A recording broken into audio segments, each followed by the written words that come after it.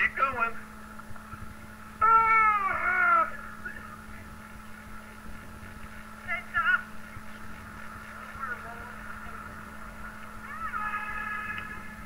Oh, you got the dog poop on you?